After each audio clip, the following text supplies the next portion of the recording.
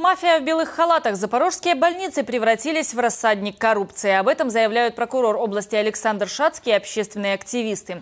Врачи, в свою очередь, утверждают, финансирование их отрасли настолько мизерное, что выжить сегодня без взимания денег с пациентов почти невозможно. Обвинения и оправдания звучали на совместном совещании правоохранителей и работников здравоохранения, где стороны пытались найти компромисс, как искоренить систему поборов и не допустить сползания медицины в еще большую пропасть.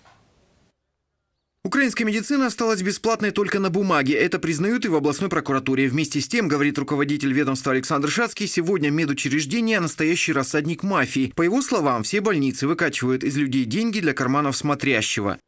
Вся система пропитана наполнением, в первую очередь, карманов тех бандитов, которые сегодня убежали из страны, и местной так званой элитой – Работа по искоренению медкоррупции, заверяет Шацкий, активно ведется. В двух больницах уже проведены обыски. Преступная система, по словам прокурора, будет сломана. Либо врачи опомнятся и сами откажутся от нее, либо с помощью уголовных дел. К примеру, говорят в ведомстве, в селах и райцентрах медицина тоже недофинансирована. Однако там, к примеру, те же благотворительные взносы с пациентов берутся не из-под полы и не в таких объемах. Сільські місцевості і навіть в таких містах, як Мелітополь, Бердянськ, Енергодар, благодійні внески вносять безпосередньо в каси лікарень або через відділення банків на рахунки лікарень.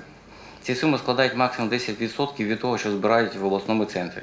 Другая проблема, говорят в прокуратуре, работа больниц с частными лабораториями. Фактов, когда пациента отправляют делать анализ по конкретному адресу, множество.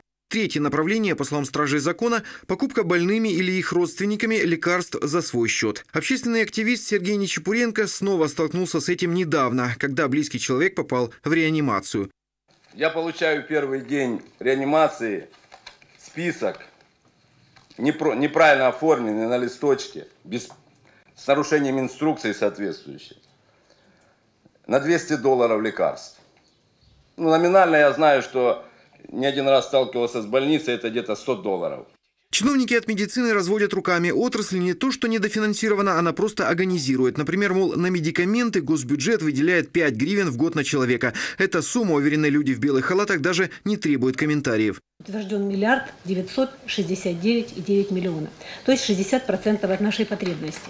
При этом на медикаменты 28,8 от потребности, по словам Александра Шацкого, отчасти он согласен с тем, что больницы могут брать деньги с пациентов. Но, во-первых, сначала это нужно узаконить, а во-вторых, должен быть строгий учет этих благотворительных взносов. Что же касается частных аптек на территории медучреждений и частных лабораторий, с которыми медики тесно сотрудничают, прокуратура продолжит проверки в этом направлении.